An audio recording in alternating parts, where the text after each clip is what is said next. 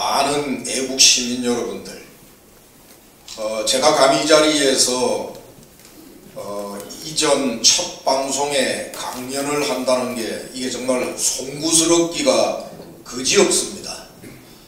어, 그러나 어, 오늘 시국이 위중하고 어, 또 자유민주주의 체제가 아까 말씀하신 대로 백척 간두에 서 있기 때문에 아, 부족한 저에게 어, 이 시국의 정치 현장에 있는 사람으로서 진단을 어떻게 하고 있고 또 처방은 어떤 처방을 가져가야 할 것인가 이런 점에 어, 의견을 좀 해달라는 요청을 받고 제가 감히 이 자리에 섰습니다.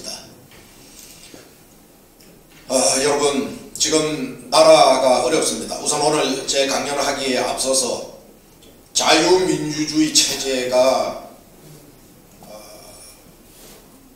절벽 끝으로 지금 현재 떨어지고 있는데 무엇 하나 제대로 대처할 수 없다라고 하는 이 현실이 참으로 절망스럽고 고통스럽습니다. 근데 절망과 고통이 두려운 것이 아니라 우리는 그 절망과 고통을 이겨낼 희망이 있는가? 이것이 없을 때 저희 우리는 더 견디기 어려운 어, 큰 두려움과 고통에 빠지는 겁니다. 그런데 저는 오늘 우리 애국 시민방송 신의 한 수가 일로 번창하여 무너져가는 자유민주주의 체제에 복음이 되어줄 수도 있을 것 같다라는 그 희망을 보면서 오늘 굉장히 저는 행복하고 기분이 좋습니다. 여러분도 그러시죠?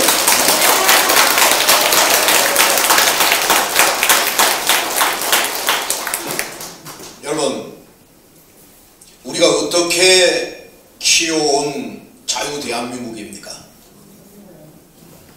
그런데 이 자유 대한민국이 지금 벼랑 끝에 섰습니다. 지금 자유민주주의 체제를 벼랑 끝에 세우는 것은 크게 저는 세 가지가 있다고 봅니다. 우선 첫째는 친북 주사파들입니다. 두 번째는 그들과 연계된 이 나라 경제 그리고 또 이 나라 순수한 노동자들에게 각지를 일삼는 민주노총이다. 저는 그렇게 생각하고 있습니다. 세 번째는 이 나라의 미래의 기둥이 될 우리 미래의 꿈 자라나는 우리 학생들에게 잘못된 역사관과 오염된 사상을 전념시키고 있는 정교조다 저는 그렇게 생각하고 있습니다. 역사는 필연적이고 무서운 법칙을 가지고 있다 저는 그렇게 배웠습니다. 그리고 또 그것은 제가 보건대는 틀림이 없는 일입니다. 어느 한 민족과 국가가 비극적 역사, 고통의 역사, 치욕의 역사를 맞이할 때는 반드시 그 전제된 환경이 있었습니다. 시대를 제대로 읽지 못하고 나라가 나아가야 할 방향을 제대로 제시하지 못하는 그릇된 지도자 그리고 또 그러한 지도자들을 쳐다보면서도 그것을 개선하고 국가가 나라가 나아가야 할 방향을 제대로 제시하지 못하는 무지한 국민들, 백성들 그런 것들이 혼재가 되어서 국가가 제대로 작동하지 못할 때 우리는 항상 오욕과 치욕과 고통의 역사를 맞이했습니다. 조선조 말에 100여 년간의 세계의 새로운 문명 절항기 산업혁명의 물결이 닥쳤을 때 그것에 대한 인지 대처를 못하고 그저 당리 당략과 당파 가문을 위해서 싸웠던 그런 정치 지도자들 그리고 그 밑에 무지한 백성들 그리고 끌고 왔던 한 100여 년의 역사가 우리는 36년의 일본의 치후의 역사를 만들었고 분단의 역사로 이어졌고 전쟁의 역사로 이어졌고 지금도 우리는 지구상의 유일한 분단 국가로 지금 남아있는 이런 고통의 역사를 맞이했습니다. 그런데 참으로 이 나라에는 국군이 있어서 건국의 아버지 이승만 대통령이라는 지도자를 행운적으로 만나고 그리고 농경사에 머물러 있던 그래서 봄이면 촉은 목피해서 아사자가 속출하는 그러한 나라를 늦었던 산업화에 박차를 가해서 먹고 사는 문제를 해결했던 박정희 대통령의 리더십이 있었고 그런 것들을 통해서 자유 대한민국이 선진 국가로 줄다름 치려고 하는 그 와중에 이 나라 역사 중에 우리가 하나 해결하고 넘어가야 할 하나의 과제가 있었습니다. 그것은 군사 통치의 문민화 민주주의를 이루는 문제였습니다. 그리고 그것도 자랑스러운 우리의 국민들은 세계가 놀랄 가장 짧은 시기에 이것을 해내었습니다. 분단의 국가 식민 통치의 역사에서 자유민주주의를 체제로 하는 대한민국을 세웠고 먹고 사는 문제를 해결했고 인간다운 삶을 살 수 있는 민주주의를 우리 모든 외국 시민들이 그 시대에 필요했던 리더십을 가지고 만들었는데 우리가 그때 한 가지를 놓친 게 있습니다. 그것이 바로 이 자유민주주의 체제 하에서 그때만 해도 그늘에서 암약하고 독버섯처럼 기생하는 소위 친북주의자들. 그들의 정체와 그들의 음모와 그들의 기획과 그들의 앞으로 행동 실천 계획을 우리는 놓쳤던 겁니다. 30년 전에 군사정권으로부터 정부를 선택하는 고난인 직선제 개헌만 국민의 손으로 돌려주면 이 나라는 박정희 대통령이 만들었던 한강의 기적이라고 하는 그 경제적 중진국으로서의 기반을 바탕으로서 선진국으로 도약하고 그리고 또 어렵사리 만든 민주주의를 바탕으로 해서 이 자유 대한민국은 세계가 놀랄 세계 중심 선진 국가로 도약하고 그리고 그런 힘을 바탕으로 우리는 자유민주주의를 기반으로 하는 선진 통일 대한민국을 만들 것이라고 그렇게 우리는 생각을 했습니다. 이 자리에 앉아있는 여러 외국 시민 여러분들도 우리는 그렇게 다들 기대하시고 계셨죠? 거기에 우리가 하나가 전략적 미수로 놓친 게 있었습니다. 그것은 분단의 저쪽 끝에 북쪽의 도사리 관전 바로 김일성 집단들이었습니다. 그들은 이 자유대한민국을 적화 통일시켜서 그리고 공산사회주의 통일국가로 만들어야 되겠다라고 하는 끊이지 없는 끊이지 않는 야욕을 가지고 준비를 하고 행동을 하고 그리고 이 자유대한민국을 적화 통일시키기 위해서 많은 기초 작업을 했던 것입니다. 민주화 운동 과정에 그 중에 학생 운동권의 소위 김일성 주체 사상이라고 하는 소위 이 사상을 전파하고 NLPD계를 중심으로 학생 운동권의 김일성 주사파들이 자리를 잡기 시작했습니다. 이 나라 자유민주주의 체제를 위협하는 친북 주사파의 기본 노선은 딱 한 가지입니다. 먼저 자유대한민국은 태어나지 않았어야 할 나라다. 미국의 반식민지화된 나라다. 그리고 매판 자본, 다시 말하면 그들이 요즘에 말하는 재벌 대기업 등입니다. 이런 재벌 대기업이 국민들을 수탈하는 그러한 잘못된 나라다. 그렇기 때문에 이것은 지구상에서 사라져야 할 나라고 그리고 이 자유 대한민국을 사라지게 하고 그 자리에 세워야 할 나라는 바로 북한 김일성 주체사상을 중심으로 한 사회주의 통일국가다. 이것이 바로 뭐냐면은 친북 주사파의 기본 노선입니다. 목표입니다. 이것을 우리가 놓쳤던 겁니다. 이 주사파는 그들의 기본 노선과 목표를 달성하기 위해서 세 가지의 전략을 갖고 있습니다. 첫째 하나가 반미 자주화입니다. 여러분 요즘에 대한민국의 문재인 정권 출범 이후에 그리고 과거 좌파 정권 시절에 있었던 일련의 상황들을 여러분들 한번 상기해 보십시오. 지금 이 나라는 먹고 사는 문제를 해결했을 때도.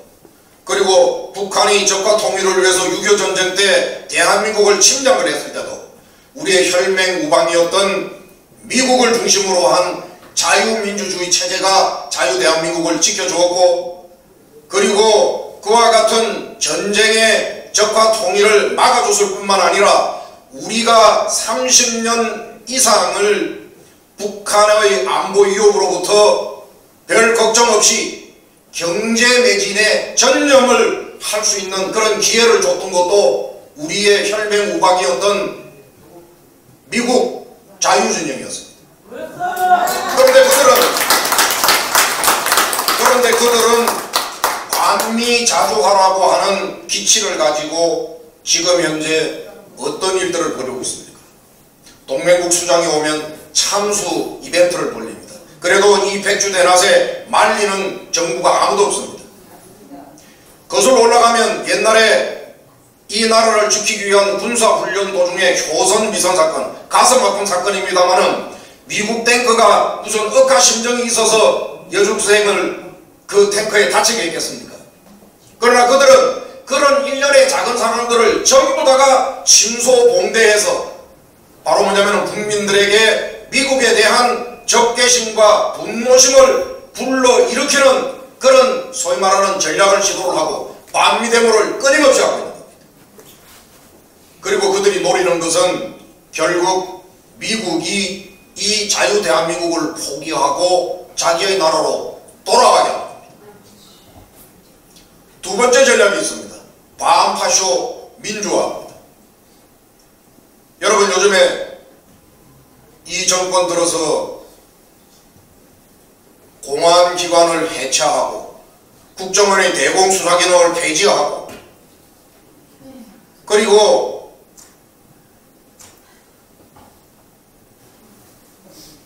민노총 지도부들이 이끌고 있는 일단의 세력들이 이 나라 6, 7%밖에 안 되는 그것도 아주 높은 임금을 받고 지내는 민주노총의 지도부들 그리고 그 세력들이 자기네들의 철밥통을 끌어안고 비정규직, 중소기업 노동자들 그리고 청년 실업자들의 고통과 아픔은 외면한 채 갑질을 일삼고 있고 그리고 소위 중소기업의 노동자들의 일자리마저 대기업의 경영주도를 압박을 해서 자기네들이 가져와야 하겠다. 지금 이런 갑질들을 하고 있습니다. 그리고 그런 것들이 제대로 자기의 뜻대로 이루어지지 않으면 그들은 쇠사슬로 묶어서 공안 공권력인 경찰에 저항하고 경찰을 폭행하고 국민들이 다니는 간선도로 마포대교 등을 봉쇄하고 거기에 점거 농성하고 그래도 지금 현재 이 나라의 공권력은 그러한 무도한 짓에 무엇 하나 제대로 대처하는 그런 나라입니까 지금 현재 이 나라가 이미 소위 반파쇼 민주화는 모든 공안 공권력을 무력화시키는 것입니다. 그런 것들이 일반 국민들에게도 만연을 해서 취객들이 경찰관을 폭행하고 그리고 데모 때마다 격, 샤드 같은 현장 한번 보십시오. 100명이 안 되는 이름도 모를 자파세력 시민단체들이 2천명이 모여있는 경찰들을 앞에를 내놓고 들어놓고 폭행하고 거기에 국민을 지킬 수 있는 샤드에 필요한 장비 연료들을 발입하는 것을 못하게 저해하고 막고 그리고 그것을 경찰이 막으려고 그러면은 경찰은 100명도 안 되는 정체불명의 좌파 시민단체들한테 이 나라 공권력은 무력화되어 있습니다. 이게 바로 뭐냐면은 반파쇼 민주화입니다. 이 나라의 공권력 법치주의에 의해서 국민의 생명을 지키고 이 나라 법을 준수하고 이 나라를 질서 있는 자유민주주의로 가는 그 모든 공권력을 무력화시키는 바로 전략입니다. 세 번째가 자주평화통일 전략입니다. 이들은 조국의 평화적 통일이라고 하는 비명하에 전작권 한수가 우리 한국군의 전력을 훨씬 더, 더 증강한다라고 하는 세 살 먹은 어린애도 동의할 수 없는 그런 논조를 들어서 자주국방의 미명하에 전작권을 한수하겠다고 합니다. 전작권 한수는 이름을 빌려 좋은 말로 전작권 한수지 그것은 한미동맹의 해체, 한미연합사의 해체를 의미합니다. 그리고 한미연합사가 해체되고 주한미군이 철수가 되어지면 그들은 핵을 보유한 사회주의 통일국가 연방공화국으로 만들렸다. 그게 바로 뭐냐면은 저는 자주 평화 통일 노선이다. 저는 그렇게 생각을 합니다. 지금 이 나라 문재인 정부 들어서 제가 이 친북 주사파들의 소위 이 국정 농간이 어디까지 이르렀는가 제가 참으로 걱정스러운 대목이 여러 가지가 많습니다만 한 가지만 제가 사례를 제가 들어드리겠습니다. 얼마 전에 법무부 박상기 법무부 장관이 연말에 특별 사면을 얘기를 하면서 검찰청에다가 검찰에다가 법무부 장관 명의 공문을 내려보냈어요. 다섯 개의 사건을 딱 특발을 했습니다. 샤드 배치 반대 집회 시위했던 사람 용산 참사 시위 집회에 참가했던 사람, 세월호 시위에 참가했던 사람, 밀양 송정탑에 참가했던 사람, 제주 해군기지 반대 집회에 참석했던 사람, 그 집회에 참석해서 공무집행 방해하고 폭행하고 집회 시위 위반한 모든 소위 처벌자들을 다 다섯 개 사건을 콕 찍어서 특별 사면하라 이렇게 공문을 내려 보냈습니다. 저는 그 공문이 대통령의 사인이 내려간 공문인지 아니면은 청와대에 있는 주사파 비서실장의 사인이 내려가서 간 공문인지 저는 알 길이 없습니다.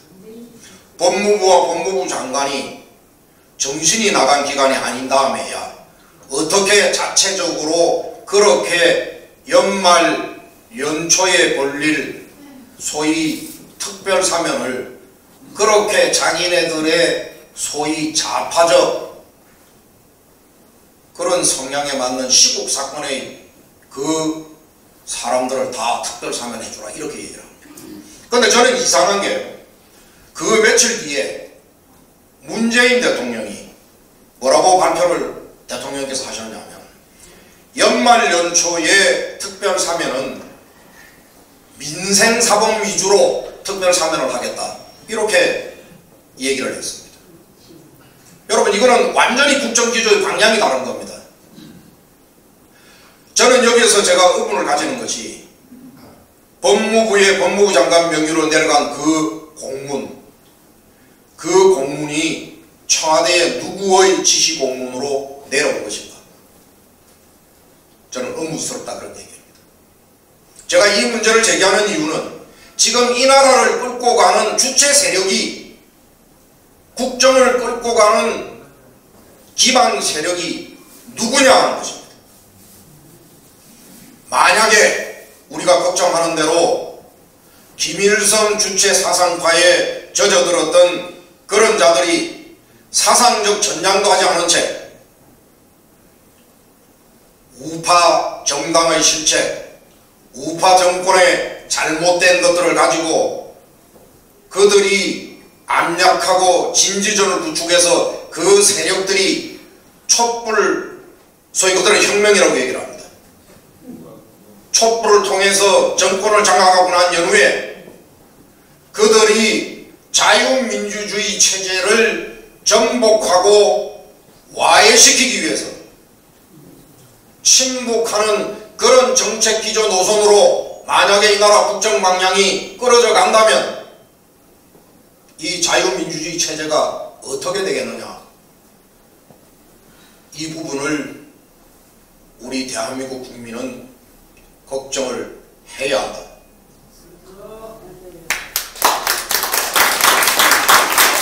문재인 정권은 지난 대통령 선거 때 41%의 지지를 받아서 집권한 정부 엄연히 60%에 가까운 문재인 정권의 지지를 보내지 않았던 국민들이 있습니다. 이 나라는 5천년의 역사 동안에 숱한 외적의 침입을 받고 숱한 역사적 고난과 고통이 있었지만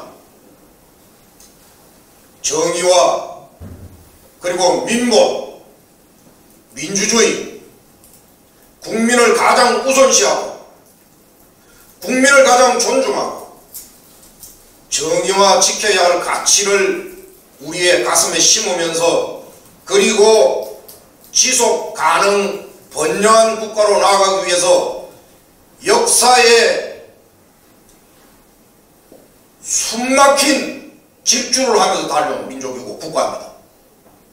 여러분 그렇지 않습니까? 맞습니다.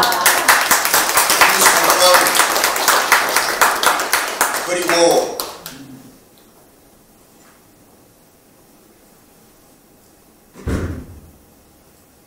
우리의 후손들에게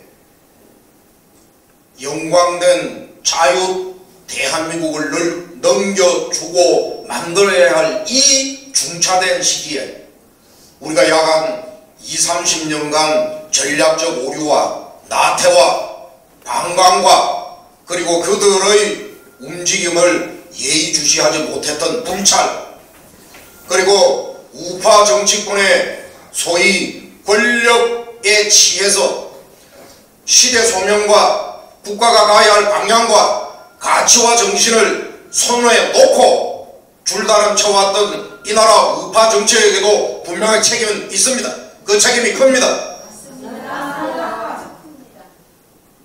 그런 속에서 우리는 이런 자유 대한민국과 자유민주주의의 위기를 맞게 된 겁니다. 그리고 지금 현재 벼랑 끝에 서 있는 겁니다. 이것을 제가 앞에까지 말씀드린 것이 진단이라면 이제 처방은 딱 한 가지밖에 없습니다. 그것은 애국시민의 애국심입니다. 자유민주주의와 자유대한민국을 사랑하는 국민의 단합입니다. 깨어있는 분입니다. 역사에 대한 통찰력입니다.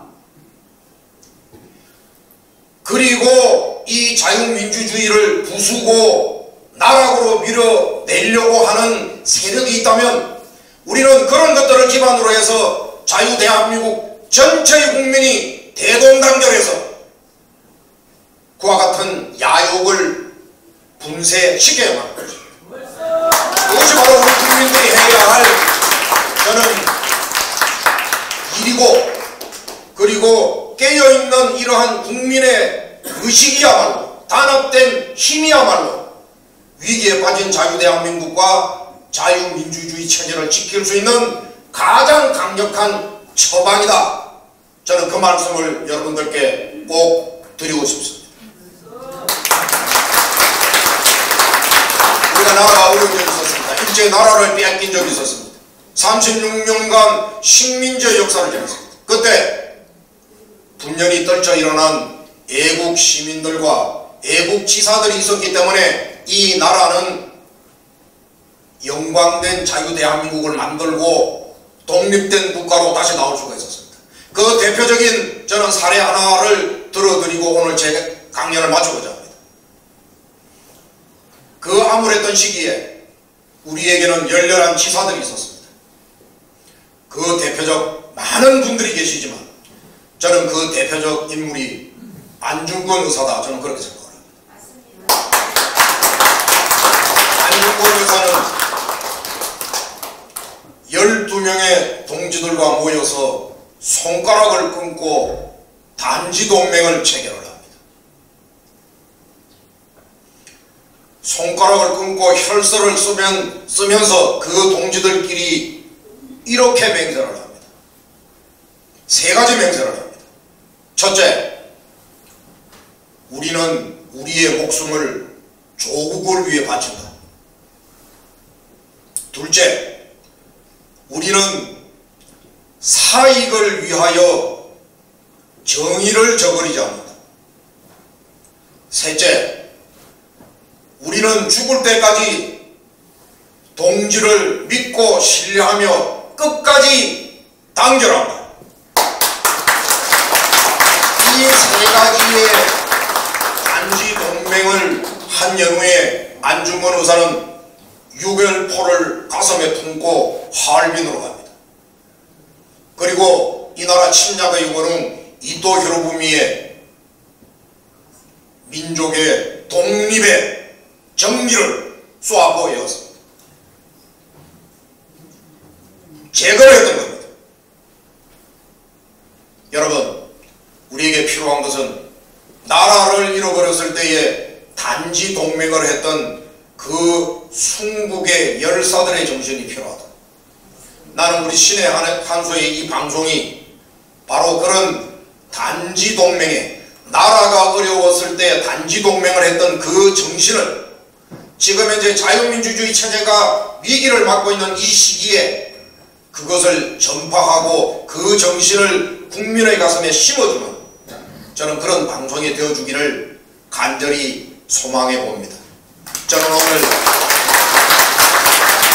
신의 학교라고 하는 희망을 받기 때문에 힘을 내어서 이 자유민주주의 체제를 지키는데 저도 제 일신의 힘을 다하겠다 하는 약속을 자리를 함께 하신 우리 애국시민 여러분들께 드리겠습니다. 여러분 끝까지 저희 얘기를 경청해 주셔서 참으로 감사를 드립니다.